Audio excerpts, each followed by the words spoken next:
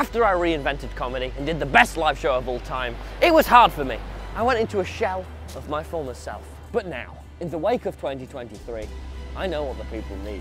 They need me. They need Tom. I'm, I'm doing a tour, a tour around England. That's right! Finally, the jokes, the laughs, the greatness, it's all back. This is my first tour ever, so if you want to witness history, then make sure you come along. It will make you so happy. Please, buy a ticket. Buy, just buy one. Buy one. It's a good financial decision.